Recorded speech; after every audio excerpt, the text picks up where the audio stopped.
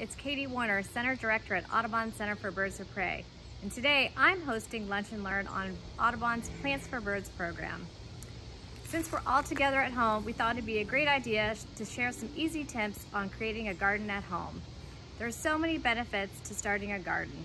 You can get outdoors, which helps your physical and mental health. Planting a garden with native plants helps save water. Creating a backyard habitat for birds helps provide important food and shelter for the many migratory birds that pass through our state. Take a quick look at this short video.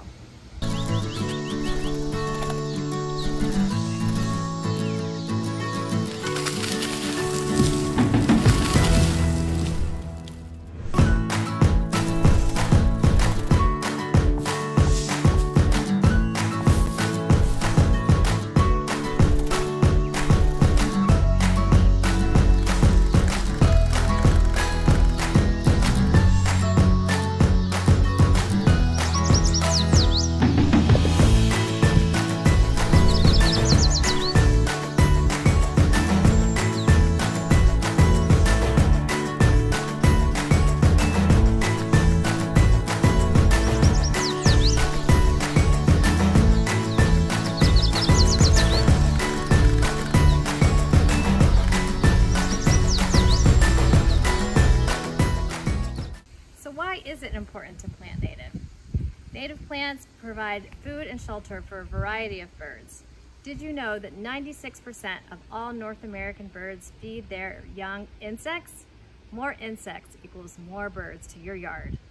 Creating a habitat with native plants helps support birds in a changing climate. Also, native plants don't require pesticides or fertilizer, a benefit for your yard and a benefit for your billfold.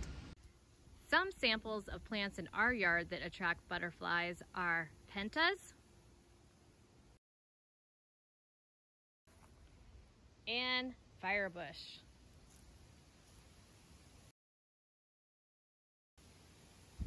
So there's several species of milkweed in Florida that attract caterpillars. This is the giant milkweed. Caterpillars love this. Remember, the point today is the more insects you can have in your yard, the more birds you can attract. Audubon has many resources to help get you started.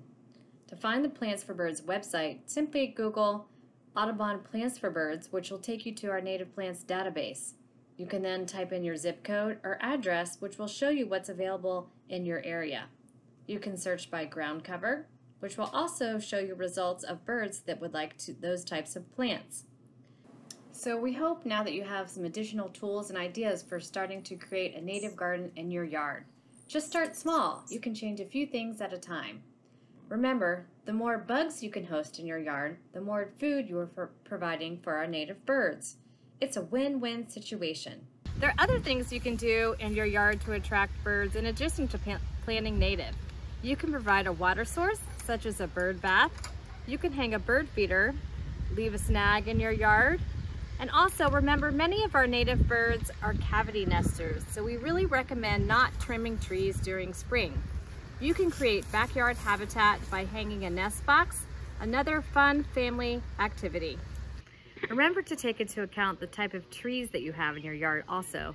Trees provide shade and cover and protect birds from predators. You can attract all types of different backyard birds, such as cardinals, hummingbirds, woodpeckers, wrens, catbirds. We just encourage you to get outdoors. Start small and you can create a native garden of your own and learn about plants for birds. Thanks for joining us.